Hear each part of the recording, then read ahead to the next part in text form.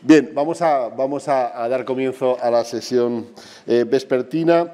Eh, lo vamos a hacer con, con Sir John Layton, eh, que tiene una doble formación en Bellas Artes y en Historia del Arte, que fue profesor de la Universidad de Edimburgo hasta que se unió a la National Gallery en 1986 de Londres como conservador de la pintura del siglo XIX, que de hecho es su mayor eh, especialidad, ¿no? y donde hizo exposiciones pues, tan importantes como de la Caspar David eh, Friedrich o eh, Art in the Making Impressionism.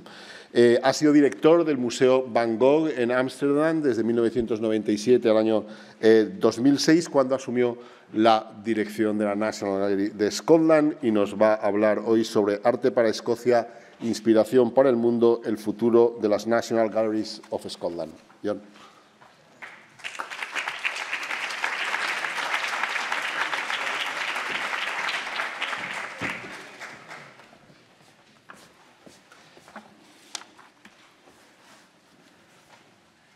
So, ladies and gentlemen, before I begin, a few thank yous. Miguel, thank you for the introduction and congratulations on the bicentenary of this wonderful museum. Thank you also to the friends, the wonderful friends of the Prado Museum for organizing uh, this uh, couple of days of uh, conferences and talks. Uh, and perhaps a special thank you to the translator Amanya, who is going to take my very mediocre English and translate it into wonderfully eloquent, fluent Spanish for you. Ladies and gentlemen, thank you for listening. So, we are going to go north, quite a bit north, to Scotland, home of whiskey, golf, tartan, haggis, and all sorts of wonderful stuff like that. It's quite a bit cooler in Scotland than it is in Madrid, but we are just as warm and passionate about our art and culture. Ladies and gentlemen, it's always something of a challenge to know how I might sum up the National Galleries of Scotland in just a few sentences. So perhaps I would describe our National Galleries as a relatively small but very high quality collection of European and Scottish art. That collection begins somewhere in the medieval period and continues right the way through to the present day. We have a gallery devoted to contemporary art. And we show our collection, for the most part, in various sites across the city of Edinburgh. And there are some of our buildings on the screen. Here we have, oh, sorry. Here we have our National Gallery, our National Portrait Gallery, and the two buildings set in a beautiful sculpture park which make up our Gallery of Modern Art. This is a view of the Scottish National Gallery, two very beautiful neoclassical buildings linked together by a set of underground spaces. You might describe this as our flagship gallery uh, it is the home of our old master collection and probably the best known part of our organization. Behind the gallery sits Edinburgh's famous castle on a huge chunk of rock. That ancient rock is the remains of an extinct volcano. It last erupted some 42 million years ago, so I think we're probably quite safe. To the left here, you just catch a little glimpse of the medieval city. And to the right here, what we call the new town, which was actually built in the 18th century. And what this photograph shows is that the National Gallery in Scotland sits at the very heart of the capital city, physically and symbolically. The setting, the architecture, they suggest timelessness, continuity, a continuity between past, present, and future. All sounds quite simple, but is it? Like all museums, our National Galleries of Scotland, it's an institution that was conceived as something that would last across the ages, that would endure across many, many generations. Yet, as you all know, we now live in a time of unprecedented change. There are dramatic changes underway changes in politics, in patterns of society, in the way that we live, the way we organize ourselves, the way that we communicate with one another. And in common with many of the museums that you've heard about today and yesterday, we too in Scotland, we have to respond to those changes, to the challenges, to the opportunities that they bring. And I've used the title of this talk, uh, Art for Scotland, Inspiration for the World, because I want to talk in particular about how we position ourselves as a Scottish institution, but with an international outlook. Now, that sounds perhaps easy or simple in theory, but in practice, as I'd like to show you, it does require some quite delicate balances and occasionally some difficult choices. And perhaps along the way, I can give you some sense of the character of our institution and how we've been rethinking our sense of purpose in a very unpredictable, a very volatile setting.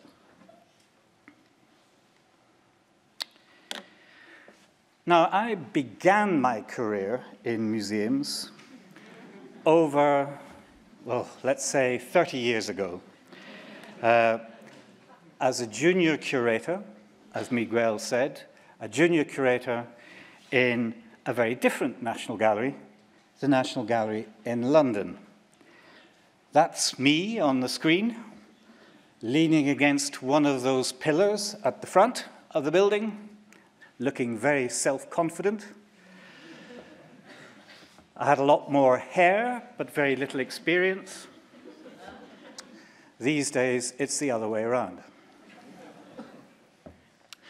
Back then, in the 1980s, the world of museums, well, it seemed very different. At the National Gallery, uh, the atmosphere was rather gentle, academic, scholarly. There was perhaps a sense that not very much had changed over the years, and not very much was about to change uh, in the decades to come. I remember uh, not long after I started at the National Gallery, uh, there was a survey in a newspaper which, uh, which worked out which are the most and which are the least stressful professions. And a museum curator was apparently the least stressful occupation uh, beaten only by being a librarian in a provincial library. it doesn't quite feel like that now. Again, on my first day at the National Gallery, I was shown into uh, an office, and there in that office, there was a very elegant chaise longue, a reclining sofa. And I said, What's that for?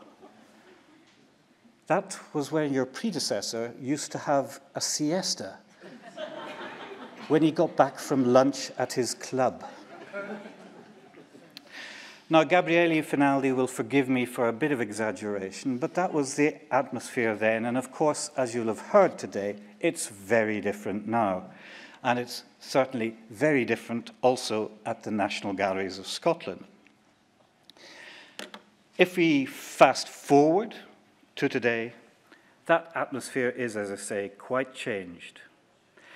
One very obvious change, which you've heard a lot about over the last couple of days, is the levels of interest and the numbers of visitors that come through the doors, the doors of all national museums, and uh, our gallery is no exception to that.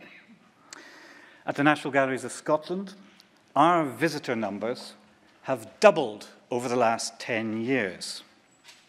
I just show you, this is perhaps just a little bit of fun, but um, I couldn't resist showing this is a little painting of the interior of the National Gallery of Scotland in about 1860, uh, a year or two after the gallery opened. And you might just be able to see how serene and peaceful it looks.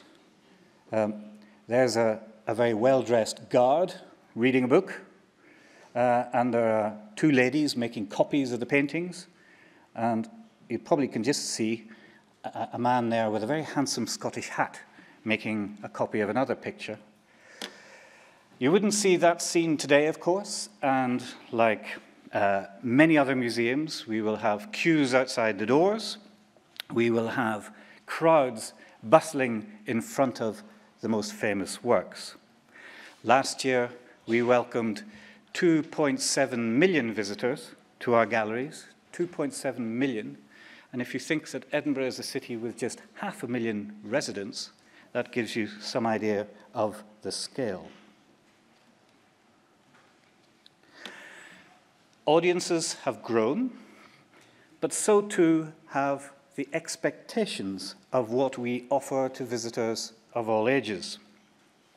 Of course, it's absolutely us usual for all kinds of museums to offer education programs, and that's something that's been going on for many years.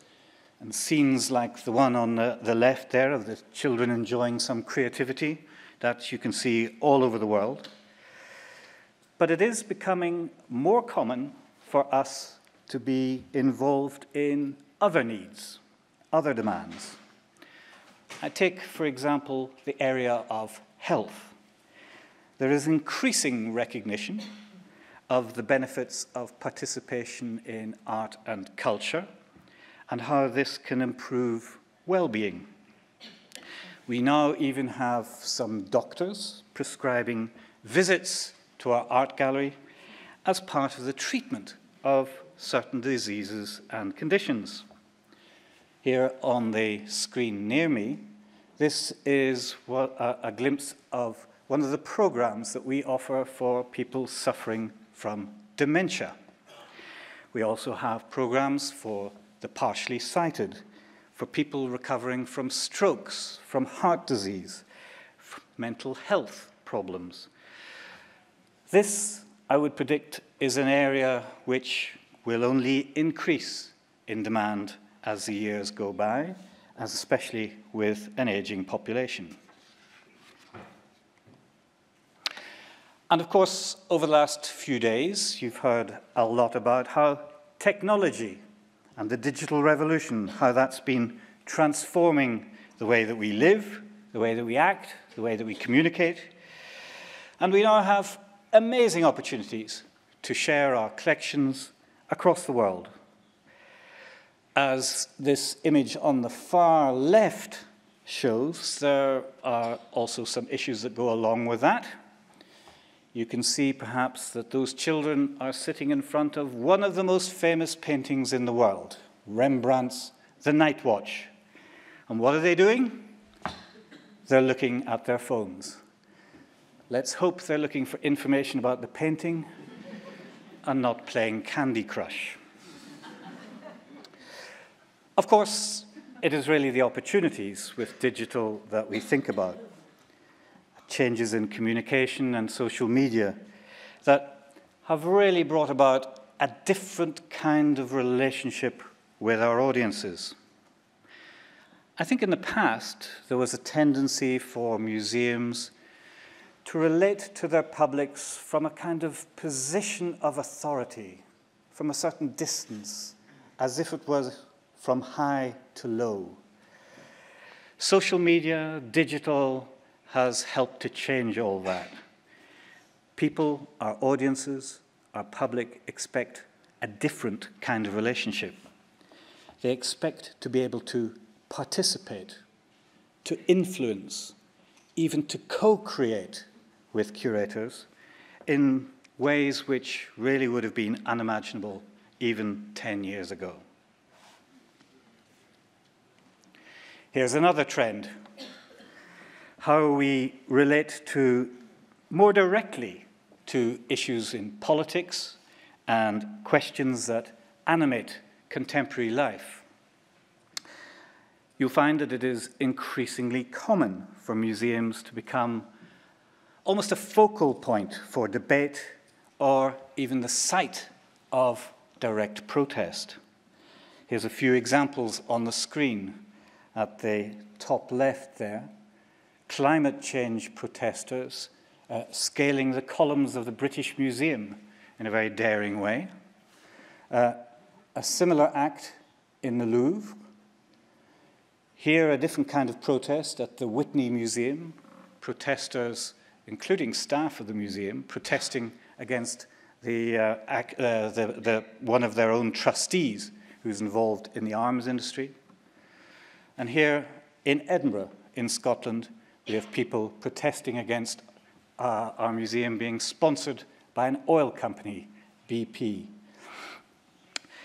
In the past, there was perhaps a tendency to see museums as places almost removed from the everyday. Somewhere where the concerns, the tensions, the conflicts of society um, didn't, uh, Im didn't impose themselves. A place of sanctuary, if you like. Now I think museums are much more likely to be seen as dynamic social spaces and as emblems of cultural and symbolic significance it's really not surprising that we should be pulled into controversy, sometimes willingly, sometimes unwillingly. Yesterday, I heard of a, uh, quite an interesting example of a museum dealing with this. Uh, the Victoria and Albert Museum in London, the V&A. Maybe you remember that uh, a few months ago in May, a group called Extinction Rebellion occupied several bridges in London, blocking the roads and creating quite a lot of uh, chaos. Uh, I heard yesterday that the V&A Museum has now actually acquired some of their banners and their artwork for their collection. That's an interesting engagement with contemporary life. So all these factors new technology, in, increasing audiences, increasing polarization and politicization. All of these are, are driving transformation and creating possibilities and challenges for us in our world of museums. And in the setting of Scotland, the political and social context, well, that's also changed very dramatically in the last 10 years. And it remains especially unpredictable. As I'm sure you will know, politics in the United Kingdom is, what shall we say, fluid. It's certainly divided at the moment as we go through the very painful process of Brexit. In Scotland, the historical ties with the European mainland, we call it the European mainland, you see, we live on an island, in, in Scotland, the ties with Europe, they've always been very strong, strengthened through trade, through migration, through political allegiances across the centuries. And quite a large majority of the population in Scotland would prefer to remain in the European Union. So the prospect of Brexit, the prospect of leaving the EU, that has reignited debates about the independence of Scotland and whether it should break away from the United Kingdom. That was an issue which was supposed to have been settled for a generation uh, through a referendum back in 2014, but which now, because of Brexit, is again very firmly on the agenda. And there on the screen, you'll see the two different sides. Yes, to uh, leave the United Kingdom, and no, uh, both equally vociferous. The world of culture, the world of art, can't escape from these debates. At the National Galleries, uh, we have thought very hard about issues of national identity. Uh, what does it mean for us to be a national institution in Scotland today? We live in a country where issues of identity are contested, they are controversial. Do we just ignore this? Or do we reflect it in our collection, our programs, our activities? And how do we navigate through some of this volatility that I have been describing? Well, in a moment, uh, I will tell you a little bit more about how we have been changing our position, changing our profile. But before I do that, perhaps a little bit of a background, a little bit of context might be a helpful setting.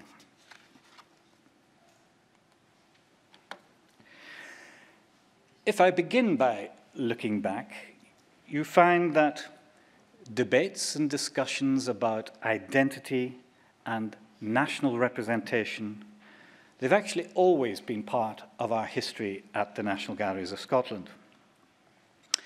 I mentioned at the beginning that we are a collection of art with a wider European and international dimension, but we also look after the national collection of Scottish art. And the balance between the two, between art from the rest of the world and art from Scotland, has always carried with it some kind of political dimension in our institution. There's always been a debate about whether the National Gallery is about art for Scotland and promoting and cultivating local and national Scottish art, or whether we should have a more international outlook, a more international ambition. Our collection, uh, although we, today we are a, a very public art gallery, our collection actually had its origins in the teaching of art and artists. In the early 19th century, there were very few opportunities for artists in Scotland to see works from uh, the great old masters. So the collection was first established as part of an academy of art to provide examples, examples of great old masters that would inspire local artists and encourage their ambition and so that they could learn through copying. And it was really taken for granted in the beginning that those artists would need to have access to the very best Italian, the very best French, the very best Spanish masters.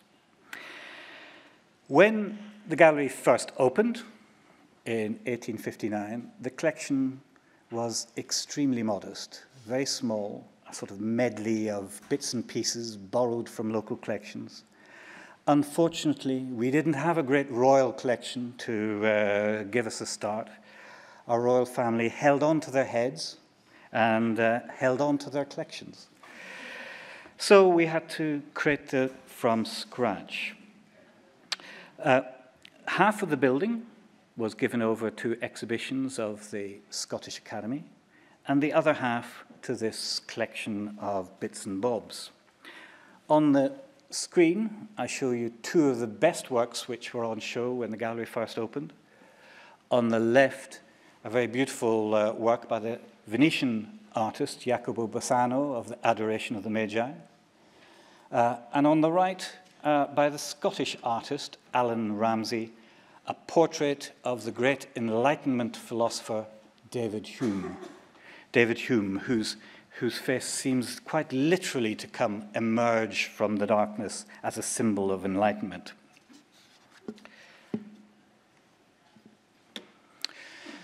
In the early days, the local and the international were kind of mixed together and displayed with equal prominence. But during the course of the 19th century, the extent of the Scottish collections and in relation to what was described as foreign art, uh, the Scottish collections, that became more of an issue. Nationalism as a political movement was gaining ground in Scotland, and at the same time, Scottish artists were attracting more success, and there was increasing pressure for the National Gallery to represent them, to give a stronger representation of historic and modern Scottish art. So gradually, art from Scotland became the main focus of the gallery. Here on the screen, two very fine examples. On the left-hand side, uh, Sir Henry Raeburn's magnificent life-size portrait of a Highland chieftain, Colonel Alistair MacDonald of Glengarry, uh, painted around 1815, at a time when even then it would have been ridiculous for somebody to walk around like this, but it's, of course, a very romantic view of a Highland chief. On the right-hand side, uh, a rather beautiful evocation of the Scottish Highlands by an artist called Peter Graham, and it's called Wandering Shadows. The decision to collect mainly Scottish art, of course, wasn't just driven by cultural politics, it was driven by uh, practical concerns. There was no money. Uh, and uh, in 1907, the gallery's curator noted that the prices for old master paintings, European old master paintings, meant that the National Gallery should abandon any hope of possessing great European masters and just focus instead on the cheaper homegrown stuff. Towards the end of the 19th century, the creation of a separate uh, Scottish National Portrait Gallery that added further momentum to discussions about art and national identity. Now, it seems to be a particularly British preoccupation to create portrait galleries, uh, galleries dedicated to portraits of men and women of achievement. In the 19th century and early 20th century, Portrait galleries were opened in London, in Dublin, in Edinburgh, and in countries of British influence, Canada, the United States, and Australia.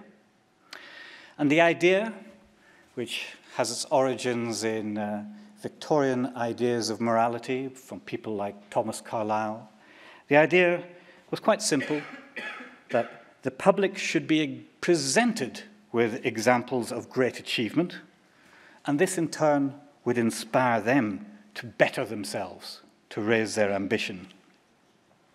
In Edinburgh, the Scottish National Portrait Gallery, which opened in 1890, the Scottish National Portrait Gallery became a focal point for national pride and identity, a place in which Scottish heroes and heroines from the past could be celebrated through portraiture. That's the exterior of the building on the left-hand side. Unusually for Edinburgh, in a sort of northern Gothic style. Most of the 19th century and 18th century buildings in Edinburgh are in a Grecian neoclassical style. It's sometimes called the Athens of the North. So here you have this Gothic uh, mixture of styles, richly decorated with sculptures along the outside of great heroes, Robert the Bruce, Mary Queen of Scots, and so on. And in the interior, also, murals depicting glorious moments from Scottish history, mainly victories over the English, rather few and far between, it has to be said. Um, and there's a view of the Great Hall in the Portrait Gallery on the right-hand side, and you can probably just make out a, a statue of our national poet, Robert Burns. So by the end of the 19th century, you had two national galleries in Edinburgh, both with a very strong and distinctive Scottish character. In the following century, the 20th century, that all began, began to change, and the pendulum swung the other way towards a rather different vision and approach. There were several reasons for this. One was funding. For the first time in the early 20th century, the gallery started to receive a grant from government to purchase pictures. And that was followed in the 1920s and 1930s by a number of generous financial gifts that allowed some pretty major purchases of European art to be made. Just a couple of examples on the uh, screen. On the left-hand side, if you were here this morning, you would have heard Laurence des Cars show a, uh, an image of a painting by Émile Bernard from 1888 of Breton women in a prairie. Uh, and she mentioned this painting by Paul Gauguin uh, called Vision After the Sermon, um, which was really a, a seminal, a key work in the development of his less naturalistic style as the Breton women come out of church and imagine the sermon that they've just heard in the church Jacob wrestling with an angel. On the right hand side, sorry, that Gauguin was purchased in the 1920s, and the painting on the right hand side is by the French 18th century artist Chardin, and it is, as far as I know, his only flower painting again purchased with uh, government money in the 1920s. So the collection began to uh, grow, but then after the Second World War, there came something that completely changed the status of the collection. And that was the loan from the Duke of Bridgewater of some of the most famous paintings in the world-renowned Bridgewater collection. The Bridgewater collection was formed by the first Duke of Bridgewater at the end of the 18th century. He was a very wealthy man, and he was able to purchase works that were being sold by, uh, during the French Revolution in London, most notably from the Orléans collection, and uh, he purchased many, many major masterpieces. They were put on display for much of the 19th century and early 20th century in Bridgewater House in London, uh, a massive uh, and hugely important collection. But then during the war, Bridgewater House was bombed and partially destroyed. And the then Duke, returned from being a prisoner of war in Germany, he returned and moved his base to Scotland. Unfortunately, his uh, house in Scotland was rather smaller than Bridgewater uh, House in London, so he offered his collection on loan to the National Gallery of Scotland.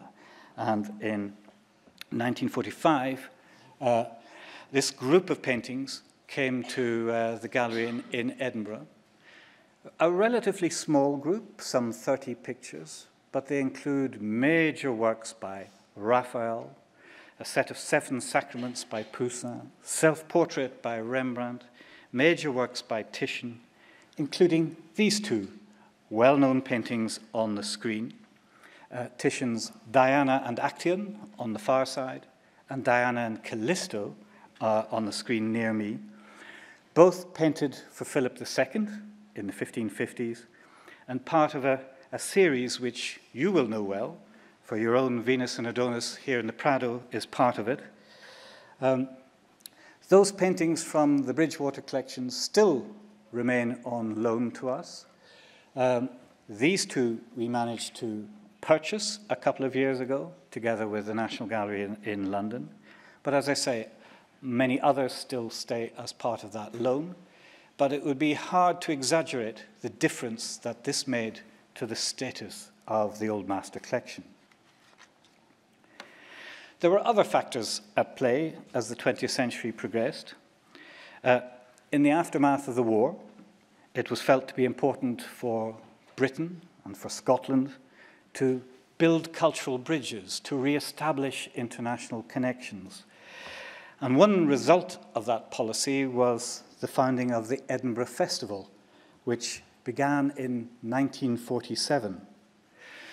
It's now the largest arts festival anywhere in the world. Many hundreds of thousands of visitors flood into the city every year to enjoy an absolutely bewildering array of performances across all the arts. If you've never been, I can recommend it as an experience. Every space in the city, it seems, is turned into a venue, whether it's a cafe, a bar, a theatre, a school, a telephone box. They all become venues for the arts. And from the 1940s onwards, that sense of internationalism, that sense that we needed to build bridges, that was also reflected in our collections. And against that background, it would have seemed to it would have seemed parochial or inward looking to uh, focus and concentrate on the National School of Scottish Art. So gradually, the importance of our Scottish collections slipped away, diminished. Um, and that became especially apparent when the National Gallery was refurbished in grand style in the 1980s.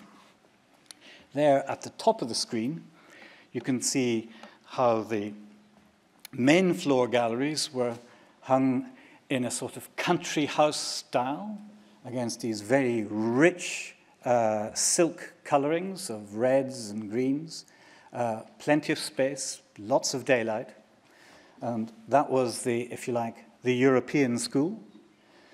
The Scottish collections were delegated, relegated to the basement, and that's them underneath in a uh, gloomy, airless, uh, dead end space, um, which was reached by a very small proportion of our visitors. So, gradually, the collections became known for their fantastic old masters, and the Scottish art was more or less invisible and certainly very poorly displayed. The portrait gallery, which I mentioned earlier, that was run down, almost derelict. Fewer than half of the rooms were open to the public. And meanwhile, the politics around the galleries were shifting. In 2007, Scotland elected its first Scottish nationalist government. And there was a growing sense that we at the National Galleries, we were out of tune with the prevailing mood across the country. So there was something of a challenge. How do we find a better balance between Scottish identity and our international outlook? How do we give more prominence to national traditions without becoming overtly political or inward looking? Well, we started with a complete overhaul of our National Portrait Gallery. Physically, the building itself was uh, completely restored and refurbished. Uh, I'm showing you there uh, something of a, a before and after. On the left-hand side, one of the large galleries before, uh, you can see what a mess it is. And here, after the uh, refurbishment. Um, so the entire building was uh, reconfigured for 21st century audiences. The collections were reimagined and redisplayed. Um, there were, of course, uh, many historical displays featuring significant figures from history in Scotland, using portraits to tell stories about Scotland's past. Here, well, perhaps we should have a test how many of these you can recognize. Um, on the left, Mary, Queen of Scots. The top right, Bonnie, Prince Charlie. And on the bottom right, Robert Burns. All of them you would expect to find in a Scottish National Portrait Gallery. But we also, we also created what we call a portrait of a nation, celebrating all aspects of contemporary life in Scotland. So that could involve what you might describe as modern heroes. Here on the left, a portrait by a Scottish artist of three very prominent cancer specialists working in the University of Dundee. Three men working at the very forefront of medical research. Or the images could be of the most non heroic of people. Here on the right, near me, uh, an image of some young boys, anonymous boys, on a Glasgow housing estate from the 1960s. All of this, I think, helps to bring the portrait gallery to life for visitors, to give it a sense of contemporary relevance.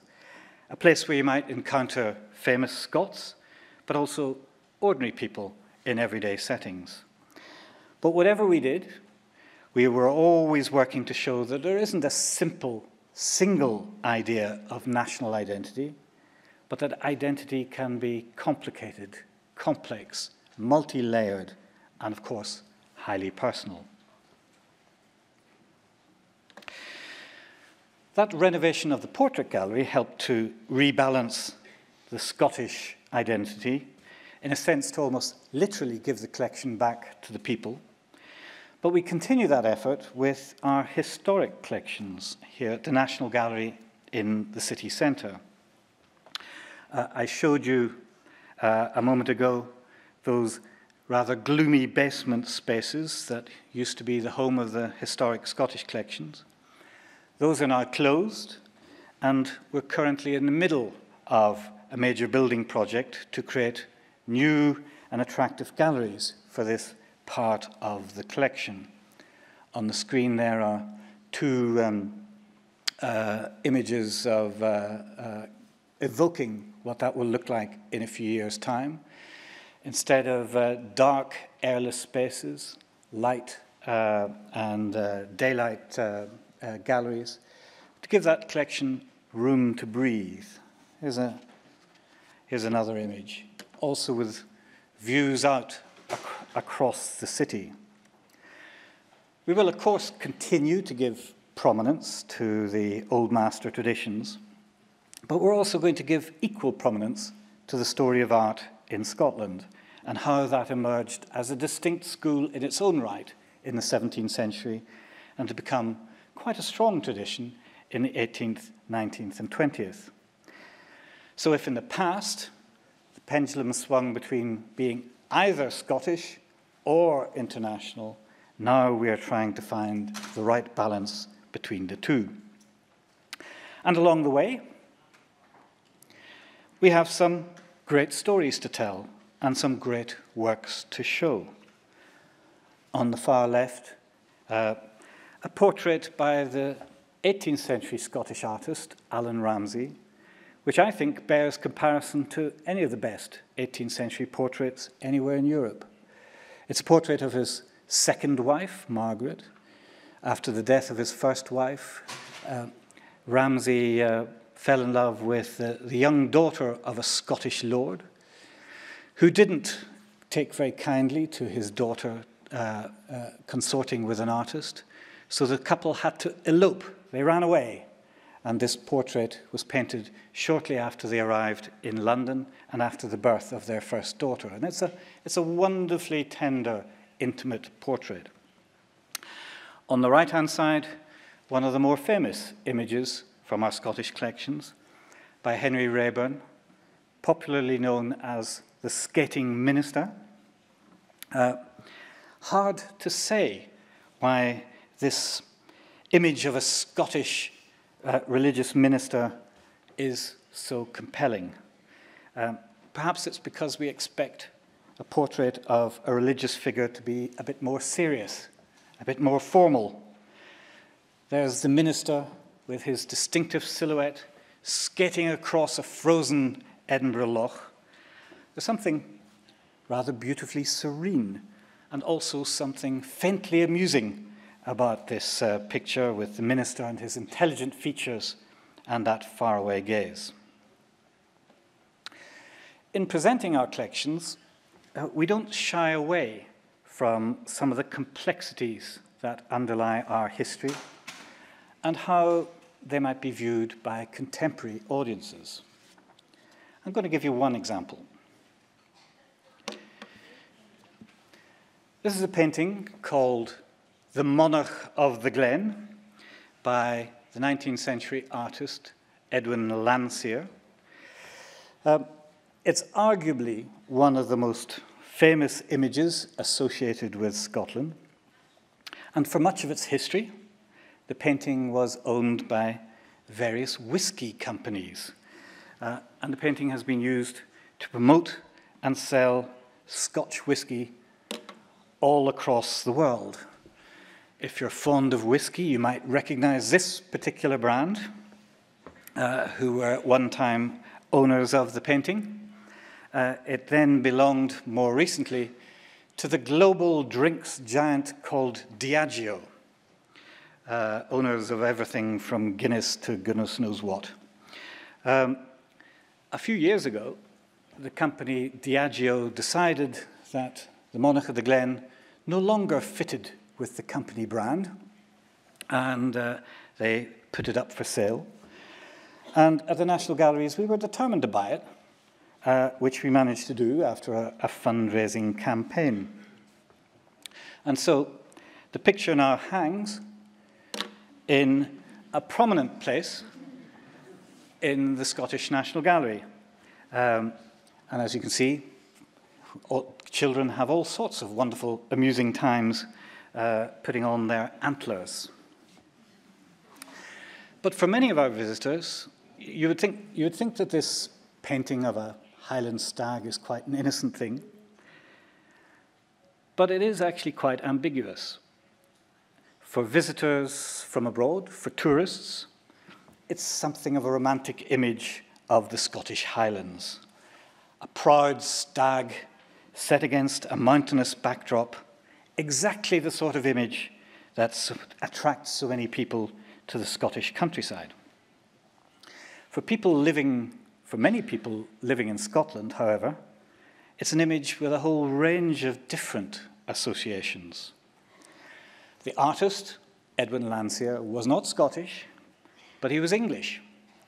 And this painting was actually made for the House of Lords in London. Landseer was Queen Victoria's favourite painter. And for some people, this image is it's not only proto Disney.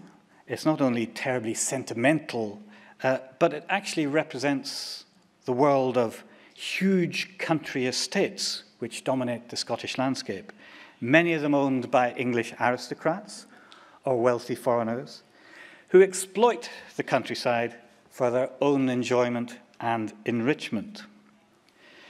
Land ownership, hunting, the exploitation of land these are hugely controversial issues in Scotland. So you find that even an innocent, seemingly innocent picture offers all kinds of layers of interpretation. And so we don't, as I say, shy away from that, but we allow it to become a focus of debate.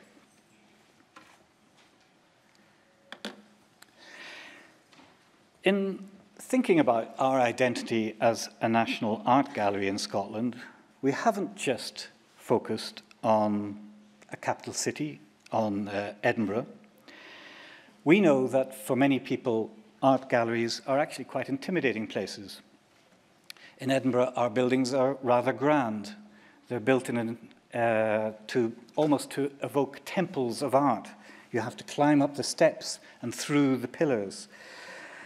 Uh, we also know that the majority of our audiences are educated, middle class city dwellers, people who are familiar with participating in all kinds of culture. So, if we want to reach a wider audience, and in particular a wider audience from across our own country, then we have to do things rather differently. So that's why a few years ago we came up with the concept of what we started to call a gallery without walls. The galleries in Edinburgh would still be a base for our activities. But rather than waiting for people to come to us, we would take the art out to them, out into society and out into the wider world. So we began a very extensive program of sharing our collection through partnership, through loans, and touring exhibitions. A central part of that collection, of that program, is one that we operate together with the Tate in London. Back in 2008, the National Galleries of Scotland and Tate in London, we acquired together a large collection of modern and contemporary art. It was from the, uh, the collector and dealer Anthony d'Offay. The collection consists of some 1,500 works by 30 artists, and it ranges from Andy Warhol and Joseph Beuys through to Damien Hirst, Jeff Koons, Louise Bourgeois, Alex Katz, who you saw this morning. Now, how the two museums, Tate and National Galleries, own together and manage and operate such a large question, that in itself is a story for another time.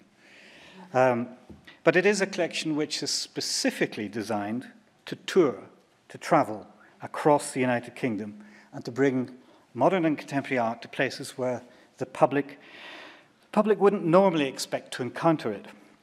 Uh, all the exhibitions are devoted to one single artist, and so the program is called Artist Rooms. And it is one of the most extensive and I think innovative touring programs anywhere in Europe.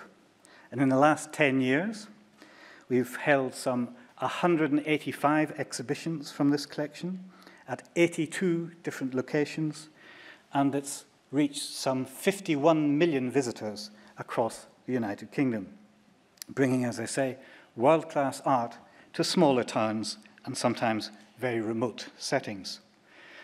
the reception that you receive in some of these communities is usually amazing, and there are always education programs, and it's always aimed generally at younger audiences.